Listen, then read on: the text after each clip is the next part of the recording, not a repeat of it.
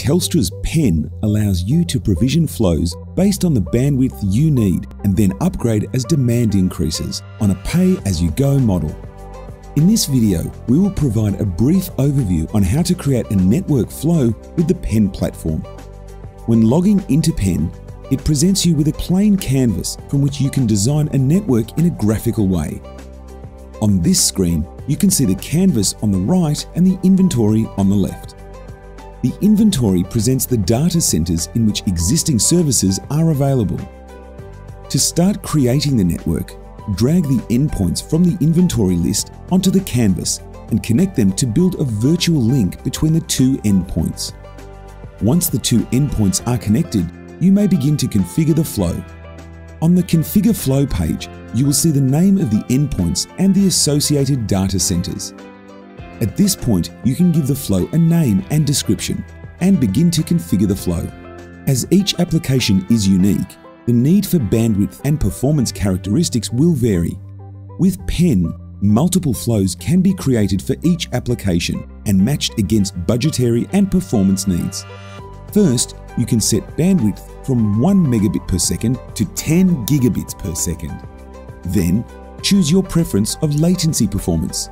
PEN offers three options. The low latency path is the shortest path between the two endpoints. The standard route is the next shortest path. The best effort path should be utilized for applications that do not require any latency guarantee. Once the bandwidth and performance characteristics have been defined, you can now choose the duration of the flow. Not all applications need to be always on circuit. For example, a nightly backup process which may only require bandwidth for two hours every night. PEN provides the flexibility to define the flow based on an hourly, daily, weekly, or monthly term.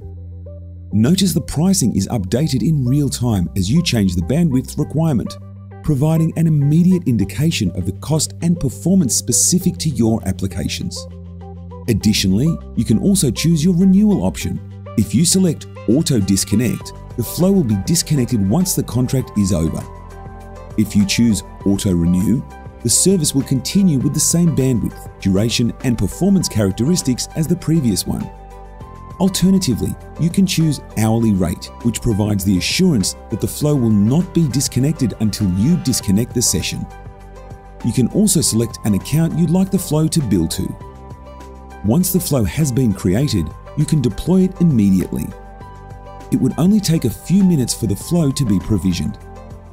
Once it's done, there's a note informing you that the flow has been successfully deployed. Today, a service provider may take days to provision a circuit due to contract negotiations, installation lead times, and circuit provisioning. With PEN, provisioning only takes minutes. Let's say you want to add an additional 200 megabits per second for three days to speed up the transfer of the data. In the past, traditional carriers may be reluctant to provision a service for such a short time frame. However, with PEN, you can quickly add 200 megabits per second by yourself to access more bandwidth on demand. At the end of the period, the service will be auto-disconnected and reverted back to the original 300 megabits per second service.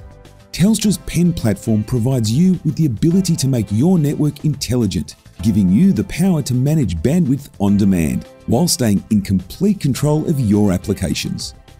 Contact your Telstra account representative today or visit telstraglobal.com.